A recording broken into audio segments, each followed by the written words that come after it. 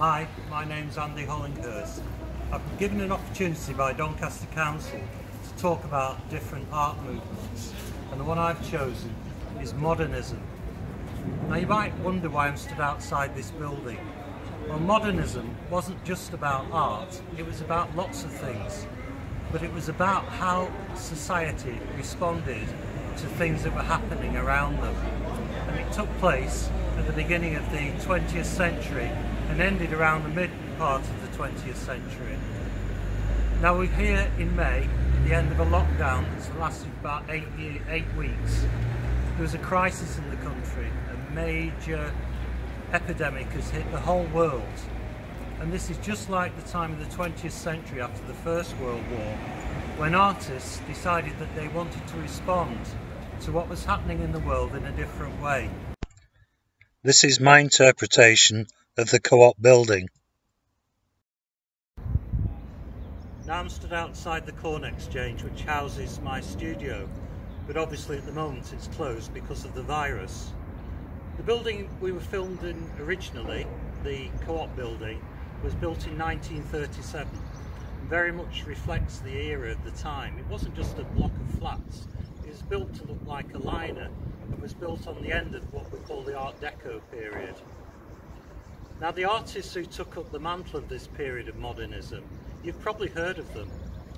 People like Picasso, who painted in a very strange style but was trying to put across messages through the way that he painted. There's a painter called Braque, Salvador Dali. And later on, as the movement took place after the Second World War, there are artists who developed sculptors like Henry Moore and Barbara Hepworth and Pollock. Now these artists wanted to express how they were feeling about how society was changing and developing and it sparked different movements like Cubism and Surrealism which you've probably heard of. One of the artists that I want to focus on is a guy called Paul Nash. Now he was a war artist during the First World War. He was in the trenches, but he didn't paint the soldiers and the battles. He painted the scene afterwards, and we'll show you a picture of that. And the reason he did that was to try and get over the message of the desolation of war. But in the background, you can see the light is beginning to shine. So he's really trying to depict a picture from his painting more than just a pictorial interpretation. Now we're going to go inside the Corn Exchange and have a look in my studio. Some of the artists I talked about outside the Corn Exchange, I'm going to show you some of their work now and explain how they became influential in the British modernism movement. So starting off with Picasso, he had a great influence on many British artists this painting, called The Three Dancers, shows very elongated figures, and that style was picked up by Francis Bacon and Graham Sutherland, and later Henry Moore picked up that interpretation in some of his sculptures. It might be difficult to understand why he's painting like this, but if you study it, you can see that he's trying to tell a story in the way that he paints. Bottle of Fishes by Braque illustrates a movement called Cubism. And what it allowed artists to do was bring lots of different viewpoints of a subject. And it opened up an infinite new possibilities for the treatment of visual reality and was a starting point for many abstract paintings in the future. So although Henry Moore, as you can see in this is one of his sculptures, was um, very famous for his sculptures. He also did a lot of drawing during the Second World War in the underground stations, and they're worth having a look at if you've time. But this sculpture here is uh, called the recumbent figure, and he actually made it for a friend of his who had built uh, a modernist building, and it was built to go into the grounds of the building. And the building was in the South Downs, and therefore the figure is undulating like the scenery around him. So you can see how the link between art and other aspects of modernism was seen in his work. So finally, in the examples of uh, paintings from some of these artists. This is the picture I was talking about outside the Corn Exchange by Paul Nash. It's actually called We Are Making a New World.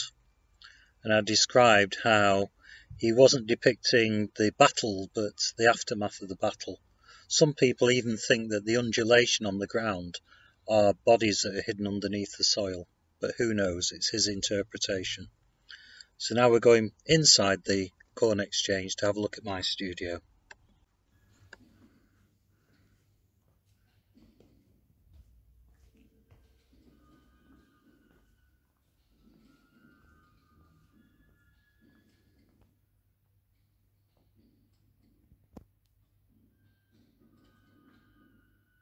So here's my studio.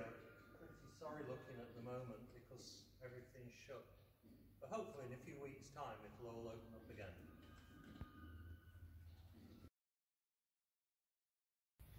So back in the studio, it's a bit chaotic at the moment because I've not been in for a while.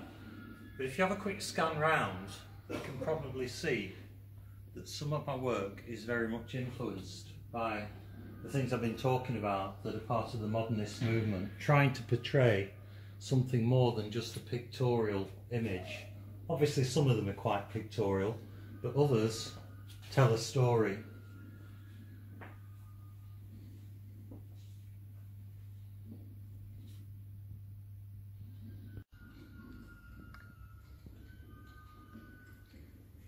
So, focusing in more on Paul Nash, following the First World War, he had a massive breakdown and moved to the Kent coast. And all the time, as I say, he's trying to send a message through his painting. So he painted the coastline, as you've just seen from those images. Well, I had a breakdown 12 years ago. And a few years afterwards, even though it was years since I'd studied anything to do with Paul Nash, I painted this picture here. and the similarity is uncanny and it was obviously in my subconscious but I was trying to portray not just the sea wall but the fact that in the distance there was a little bit light even though the picture is quite dark. And then that's a, a thing that was running through some of my work during the period when I was poorly. This is a painting of Cromer and the colours and the style are moving away from the more picturesque to the more cubist style of painting, but I'm doing that intentionally to try and get a message across. So this was the original painting I did, and then I wanted to get more atmosphere in it and more of a sort of dream-like sensation in it. So I focused in on the wall and I changed the colours behind it to make it more like a dream and that's how I got the final picture. Last year, towards the end of the summer, we went to Scarborough and I took a load of photographs. Lots of the architecture still in Scarborough is dated back to the period that the modernists were at their height. So I came back and painted some pictures that are quite pictorial.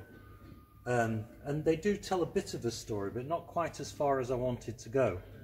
So having painted these in a more pictorial style, I then culminated in this piece here, which depicts more of the modernist style.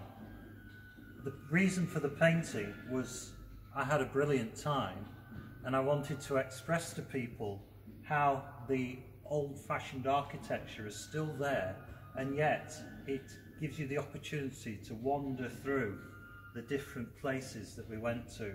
So people have said to me about this painting that they can see it's more like a dream but it also provokes great memories and it allows them to take a journey along the passages through to all the different things that they see in Scarborough and what's around the corner and all the things that are hidden and the excitement of the buildings and the beaches and the holiday resort. So that was my final piece at the end of it and he's very much along the modernist style.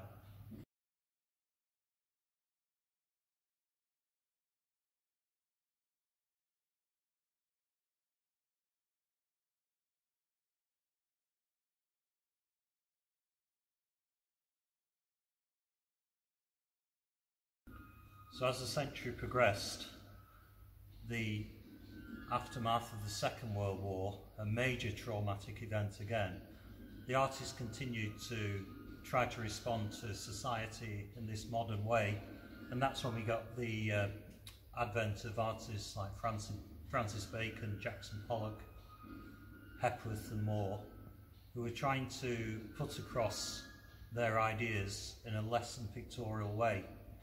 And as they move towards the 60s, we get the event of pop art and Hockney and that period of style, and even more abstract work coming through.